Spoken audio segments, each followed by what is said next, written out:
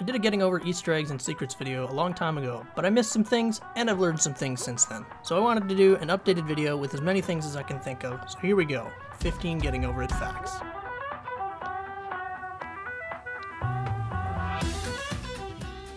Number 15.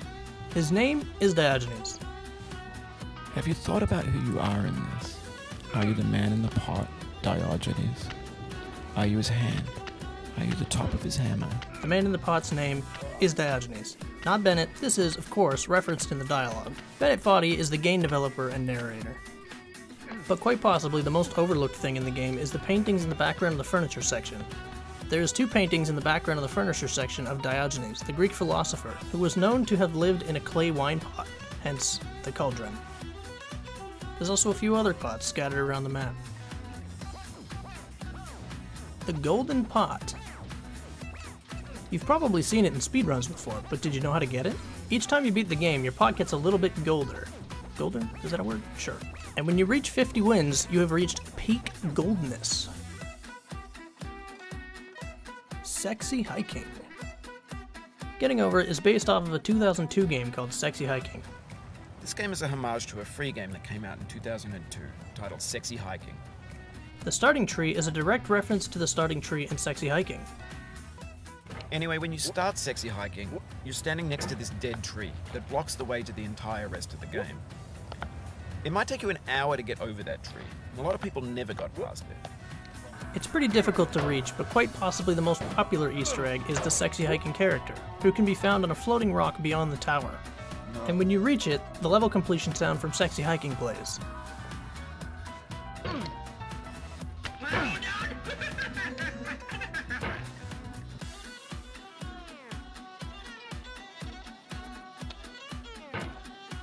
Five hundred clicks. Sometimes when struggling and getting over it, you might click your mouse a little bit. It even happens to speedrunners when you're trying to go fast and frantically flailing around in the heat of the moment. If you somehow manage to click it 500 times, you'll get this Easter egg. Listen, this is a little awkward, but you've clicked the mouse button 500 times now. I'm gonna say you're gripping the mouse a little bit hard.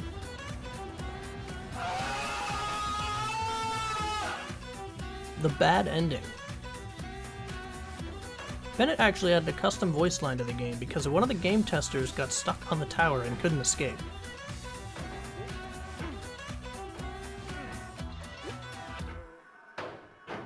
Ah, you got so close.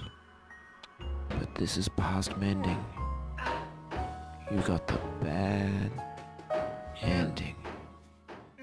It was thought to be impossible to escape for two and a half years. Although very difficult, it turned out with some persistence, it can be done.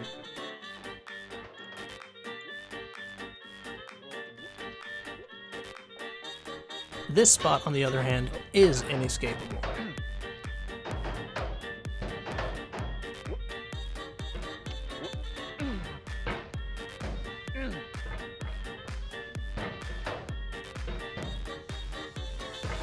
The Gift. If it takes you more than 8 minutes to get past the anvil section, which is a pretty common spot people struggle, the game drops a gift for you.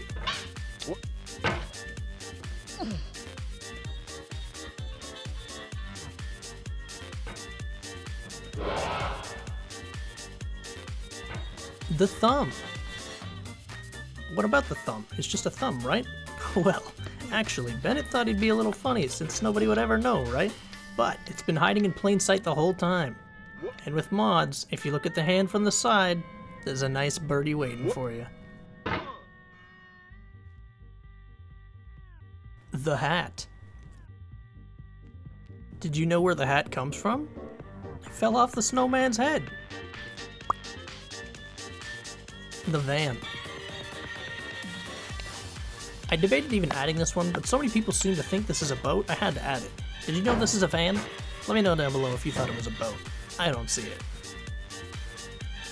The Snake. The snake is a reference to the board game Snakes and Ladders.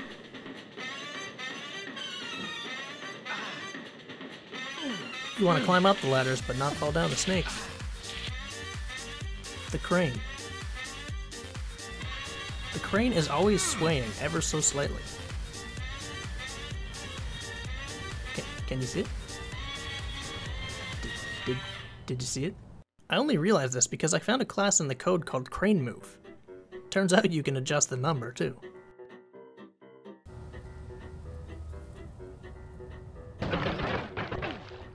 I can't help but think originally this had a different purpose with moving objects and such, but with the way the physics react, I can see why it would have been removed.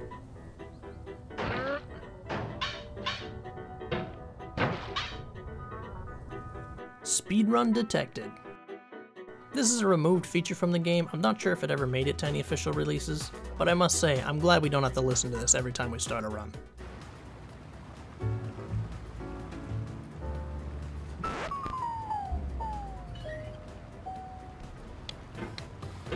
Unused dialogue. There's actually 32 voice lines in the game files that aren't used. Some of them sound like they were tips, maybe intended for a tutorial. I want you to think about the momentum of the pot. Sometimes when you want to go high, you have to lower yourself down first so you've got room to swing your hammer. Sorry about the bats, by the way. That was uncalled for. This one's my favorite. Steady, steady, steady, steady. If you want to see more of those, you can check out my original Easter eggs video. The hammer. The hammer in Getting Over is actually a Yosemite hammer, but the size of a sledgehammer. A Yosemite hammer is a hammer used for climbing. I guess that makes sense, although it's actually used to hammer nails into the rock. The Lighthouse. The lighthouse in the background of the starting area is actually the Biloxi Lighthouse. We found this reference photo in the games aisles. Yeah, it's really that big. We searched around a little bit looking for similar signs on Google Images, and then we realized it was right in front of us the whole time. It, it, was, it was in the file name. This was later confirmed by Bennett himself. Alright, so that's 15. But before we go, I've got some honorable mentions. Let me know down below the ones you didn't know of, and if I missed any. If you enjoyed the video, please leave a like, and if you'd be so kind, consider subscribing. I actually ended up writing down more than 30 facts, but I figured those were the 15 most important. I'm just going to do a rapid fire for the rest. Here's our honorable mentions.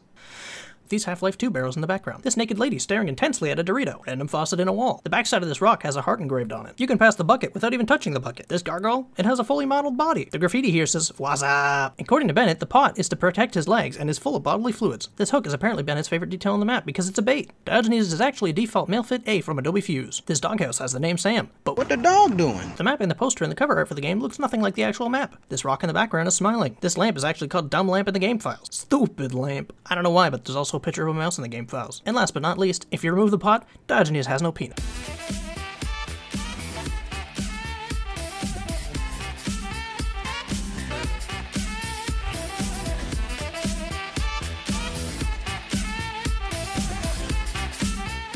These Half-Life 2 barrels in the back. These Half-Life 2 barrels in the backgrounds. This na- these Half-Life 2 barrels. These Half-Life 2 barrels in the back.